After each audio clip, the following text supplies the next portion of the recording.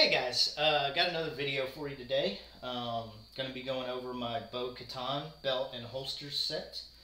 Um, so let's just jump right into it. Um, I really loved um, how this uh, this belt looked in The Mandalorian um, season two, and um, so I immediately wanted to do it. But also, I've been having people uh, request it just like crazy, so uh, I went ahead and knocked this out.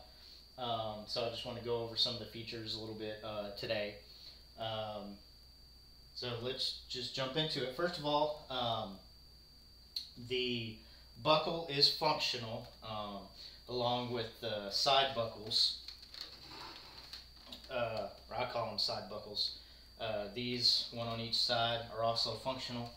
Um, and uh, this actually closes with a magnet. Um, these are large 23 millimeter magnets. So the belt actually comes open like that, two different pieces.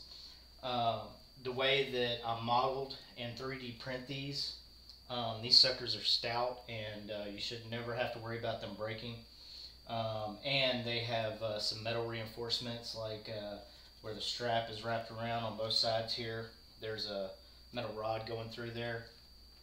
And just the way that I printed them, um, again, you shouldn't have to worry about them breaking and the way that they close are large 23 uh, millimeter uh, magnets. So, you know, you hear the click there. Uh, sucker's not coming open unless you want it to, um, which of course I designed it that way.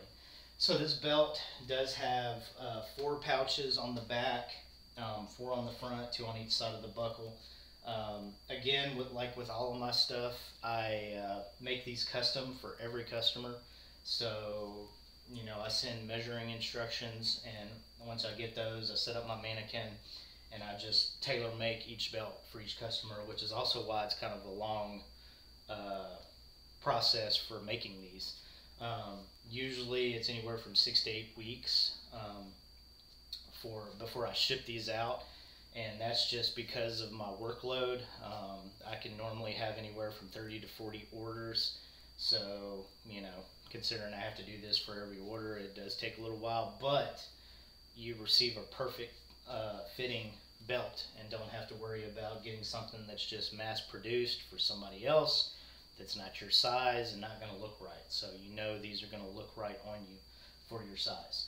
So I don't know the way that this belt functions in the show.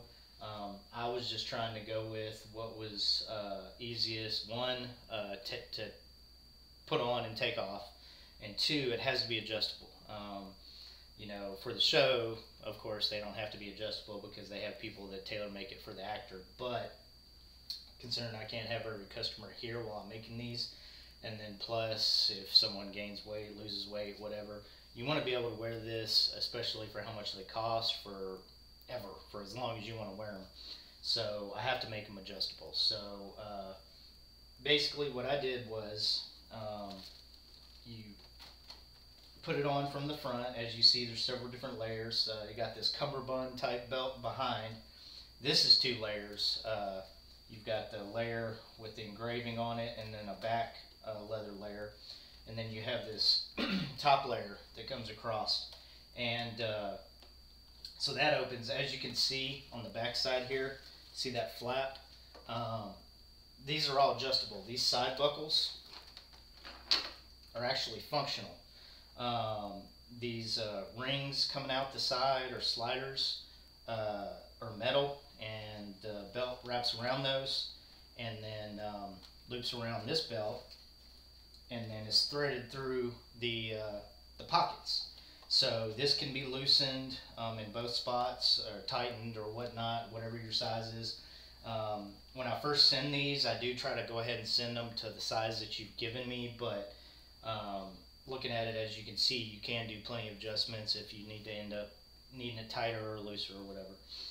Um, now these side buckles, uh, I already told you about the front buckle, the way I designed it, but the side buckles, I don't know if they machined something for the show or what they ended up doing, so I just ended up modeling these. Um, like I said, the rings are metal, so you don't have to worry about those breaking, but the square piece um, is actually something that I modeled in 3D print and they come apart and as you can see uh, the metal rings are sandwiched inside, and then it has screws that attach from the back. So this sucker is not going to break, um, and you know the metal uh, sliders aren't going to break. So these are very stout. Um, I try to always um, convey. I know some people sell uh, metal versions of the buckle in this set, and you know I can't fault anybody for wanting metal. Um, but these are going to be just as durable as as metal ones. Um, as far as anything you're going to be putting it through, uh, you know, just wearing them. Um, but also, uh, something that I've noticed the metal ones is they're not to scale. Um, these are to scale. A lot of the metal ones, the side buckle is too small. And when you buy those and, and it has a side buckle too small, that also means that your belt's going to be end up being too small. So uh, if you look at screenshots of the show, these are pretty much the same size as that front buckle. But when you look at some of the ones being sold out there that are metal, they have these way smaller than that front buckle. And that's just not to scale. Um, you know, uh, whenever I go over this stuff, I meticulously go over, you know, the actor's height, their weight, um, uh, you know, anything gauging from like the size of their fingers to, you know, whenever they're have their hands on their belt or whatever, just to, to map out the, the scale of all this stuff and scale is just something that most people get wrong. Um, but anyway, so these are accurate um, and they're durable um, for anything you're going to be putting it through. So now uh, this back belt also does the same thing that these side ones do.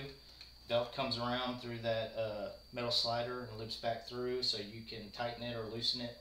Um, all the pouches are functional.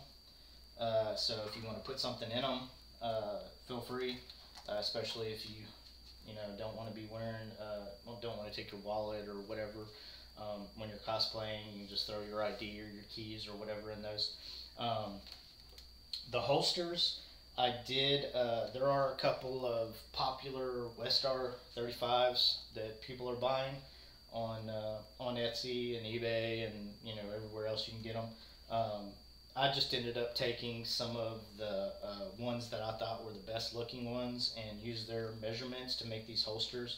So these will uh, fit most.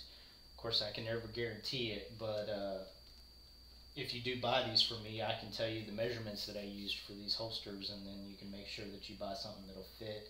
I'm hoping just because I partner with Chad with Trawick Designs all the time. Um, usually he has a blaster uh, for my belts he hasn't made this blaster yet, the Westar 35, but he plans to. So once he does that, um, then you can start getting your blasters from him. But until then, you just gotta unfortunately get one of the other uh, sellers. now,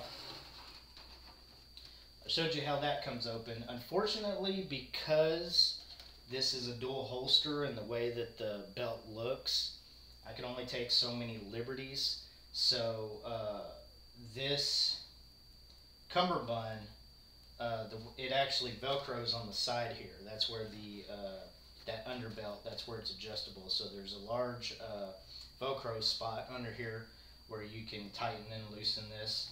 Um, but as you see, the holster is connected here on both sides. That's just where it was on the show, so that's where I had to connect them.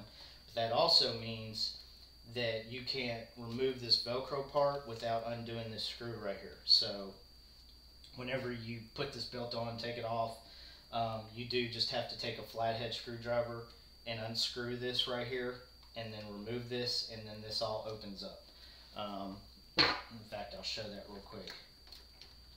So this is also, I guess, if you buy this belt from me so you can easily see.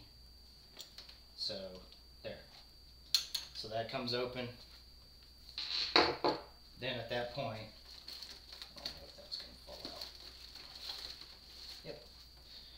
Then at that point, you can open it. So I, I wish it's not that bad. Of course, I've seen a lot of stuff that's a lot harder to put on and take off. Uh, I wish it was a little easier, but unfortunately, you do have to do that before you know, buttoning up this uh, this belt. But um, I did that for a reason. again, I wanted to make it look just like the show. Um, and that was the only way to make this completely adjustable. Um, but anyway, so that's how you put the belt on. That's how it adjusts. Um, I'll just give you a shot of the back there. There's the four different pouches.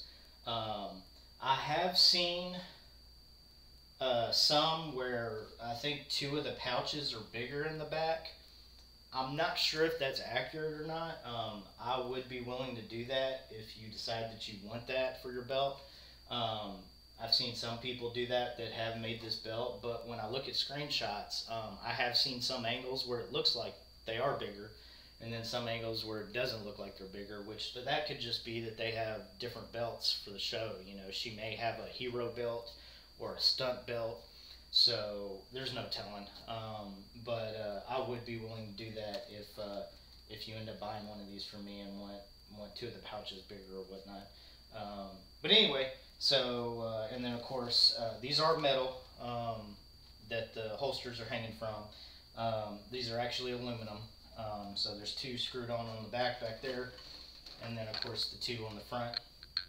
But uh, I'll just leave that open for now.